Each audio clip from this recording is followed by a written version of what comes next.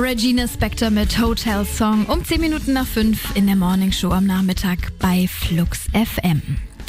Viele Kriege in der Welt wurden und werden unter dem religiösen Deckmantel geführt, von den Kreuzzügen bis zum sogenannten Heiligen Krieg. Im Namen Gottes oder Allahs passieren viele schreckliche Dinge, aber es können auch gute Sachen entstehen. Das möchte jetzt ein einzigartiges Projekt in Berlin Mitte zeigen.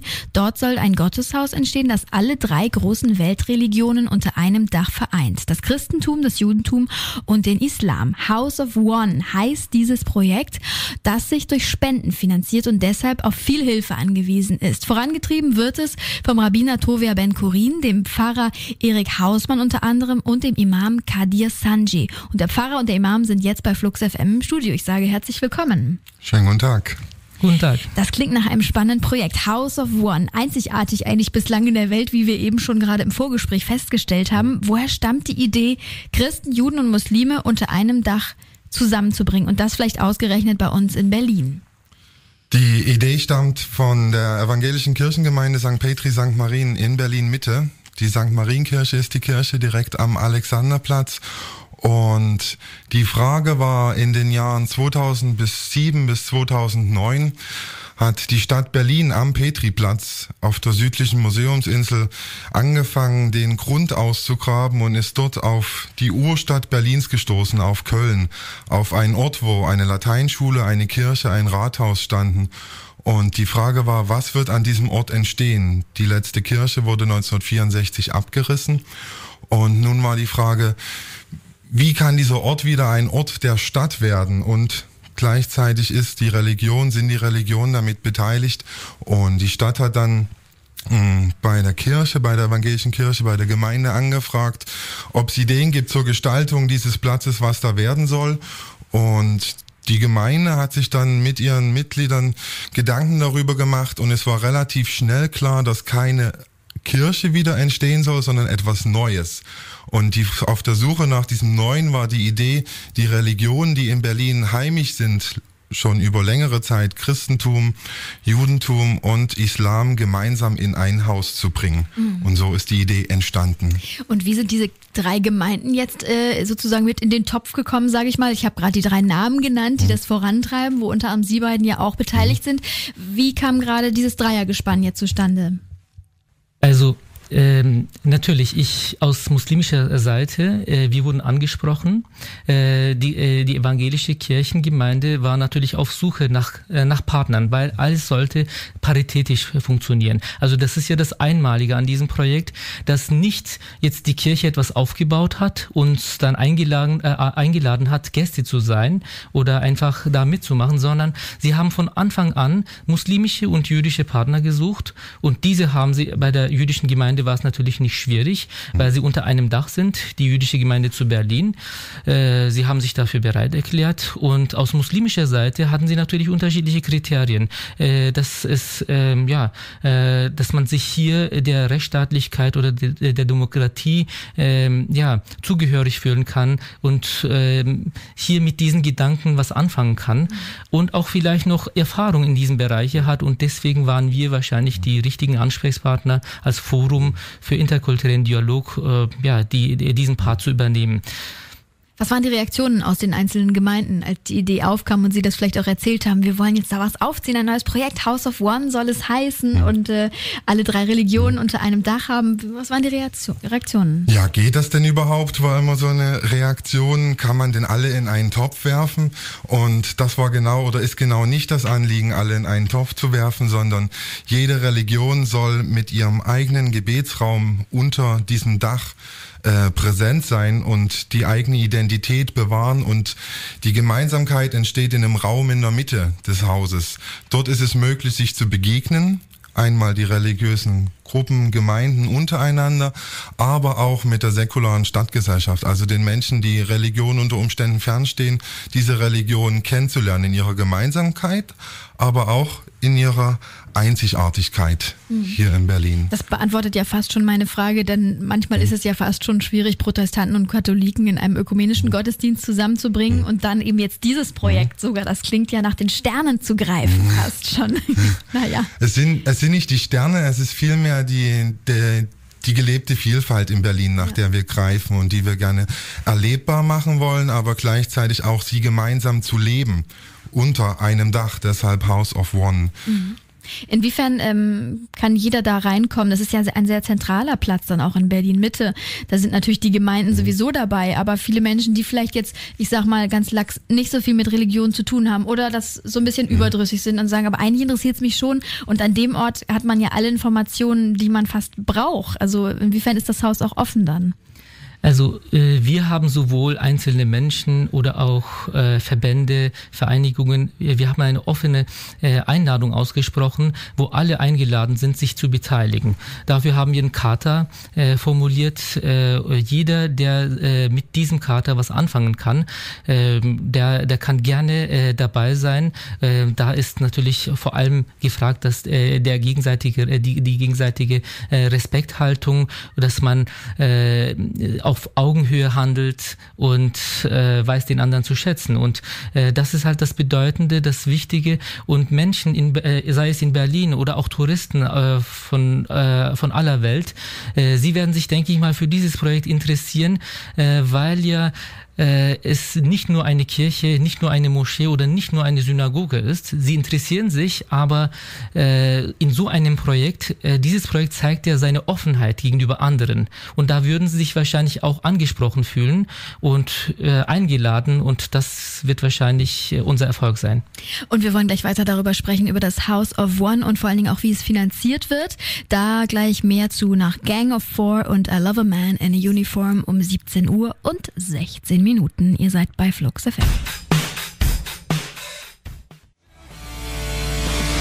Love a Man in a Uniform, Gang of Four bei Flux FM in der Morning Show am Nachmittag. Wir berichten über das House of One, ein Haus für drei verschiedene Religionen, für Christen, für Juden und für Muslime. Das ist weltweit einzigartig und das soll entstehen bei uns in Berlin. Bei mir im Studio sind noch immer Pfarrer Hausmann und äh, der Imam Kadir Sanchi, zwei der drei Initiatoren der drei Gemeinden, die das Ganze auf die Beine stellen wollen. Das klingt nach einem ganz tollen Projekt. Ich kann mir gar nicht vorstellen, dass das vorher noch nie jemand probiert hat. Ja, also ich kann vielleicht ganz kurz mal äh, ein anderes Projekt mal hier äh, erwähnen, und zwar in Darmstadt, Kranichstein. Da ist eine evangelische und eine katholische Kirche unter einem Dach. Als ich die besucht habe, habe ich mit dem evangelischen Pfarrer damals zu meiner Studienzeit äh, gesagt, äh, dem habe ich gesagt, ja, das brauchen wir genau mit den Muslimen auch.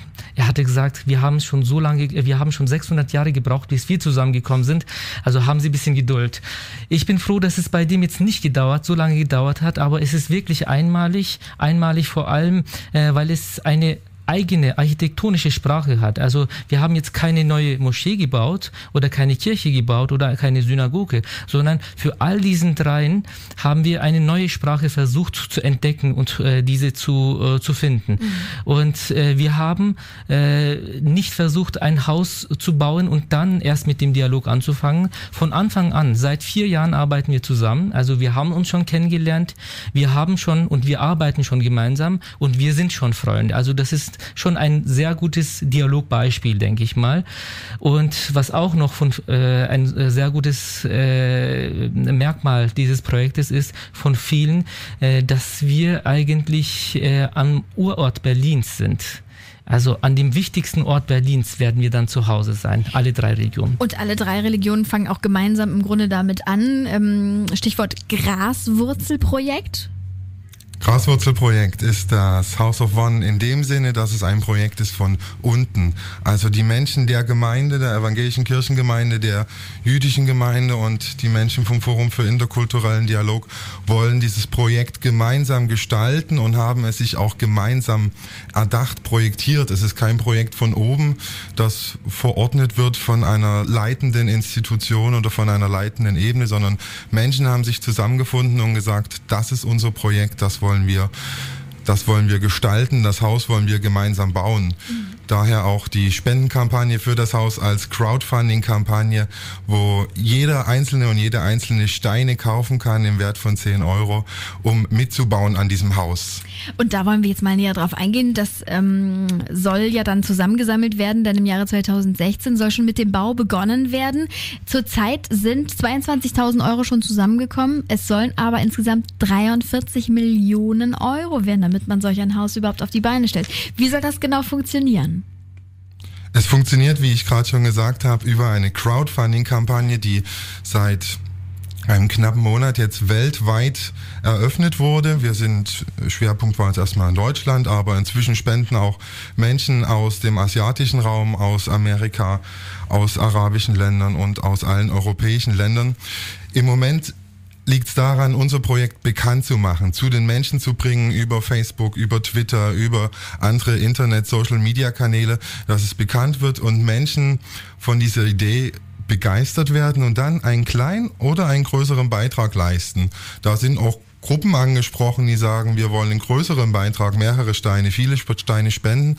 Aber die Idee ist immer, dass sich niemand selbst verwirklicht als einzelne Person, sondern dass ganz viele Menschen daran Anteil haben, dass dieses Haus wirklich ein, ein Haus wird, äh, das von vielen Menschen, von vielen Bauherrinnen und Herren getragen wird. Ja, so eine tolle Idee. Enthält das denn auch architektonisch Elemente von jeder Religion, dass sich jeder so ein bisschen wiederfindet? Oder ist es eher neutral gehalten, dass man gar nicht sagen kann, ah, erinnert er an eine Moschee oder eine klassische Kirche oder wie wird es aussehen? Von außen her, äh, also Sowohl als auch würde ich sagen, äh, wir achten sehr, wir haben sehr stark darauf geachtet, dass keine, äh, keine sehr starken Merkmale einer bestimmten Richtung da zu erkennen ist. Also dass jeder sich da zu Hause äh, wohl, also zu Hause und wohlfühlen kann.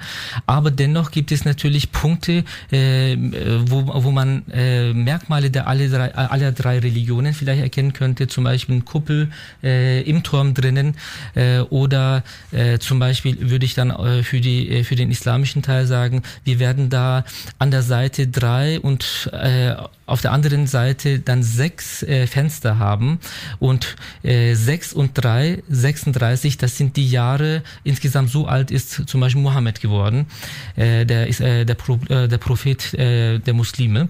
Also Sie sehen, wir haben Assoziationen, äh, Merkmale und Symbole äh, vielleicht versucht einzubauen, aber dennoch ist es so neutral, äh, dass alle drei sich da wohlfühlen werden. Also das wird ein neuer Typus ja von Sakralarchitektur, von heiligen Orten, von Religion, Versammlungsorten und das war auch die architektonische Herausforderung, das zusammenzubringen, ohne jemanden stärker nach vorne zu bringen, aber ohne auch jemanden in, ins Abseits zu stellen. Und da ist dieser Entwurf, den man sich auf der Website auch ansehen kann bei houseofone.org, kann man da genau sehen, wie das sich entwickelt und was für Gedanken sich die Architekten auch gemacht haben. Sehr schön. Das ist auch die Seite, mhm. ähm, über die man sie unterstützen kann, ne? houseofone.org. Die drei großen Weltreligionen Christentum, Judentum und der Islam sollen unter einem Dach vereint werden. Ein weltweit einzigartiges Projekt in Berlin Mitte. Äh, und ja, wie sie auf die Idee gekommen sind, das haben sie gerade berichtet. Unter anderem die beiden Gäste, die ich hier zu Besuch hatte, nämlich zum einen Pfarrer Erik Hausmann und den Imam Kadir Sanchi. Da gehört natürlich auch noch der Rabbiner Tovia Ben Kurin dazu oder auch Pfarrer Gregor Hoberg. Und dann äh, werden alle drei Gemeinden versuchen das zu stemmen mit der Hilfe der Unterstützer. Das kann man sich alles nochmal anschauen unter house oneorg houseofone.org und da kann man dann auch Steine kaufen und damit gebaut und später dann hoffentlich auch dort geheiratet, gefeiert, gebetet, all das, was man dort mal eben machen kann. Alles ist möglich. Alles ist möglich. Vielen lieben Dank, dass Sie hier waren und das Projekt vorgestellt haben und wir sind gespannt, was im Jahre 2016 dann da gewerkelt wird an der Fischerinsel. Vielen lieben Dank. Herzlichen Dank. Und wir hören die Danke. Intergalactic Lovers noch vor den Nachrichten mit Northern Road bei Flux FM.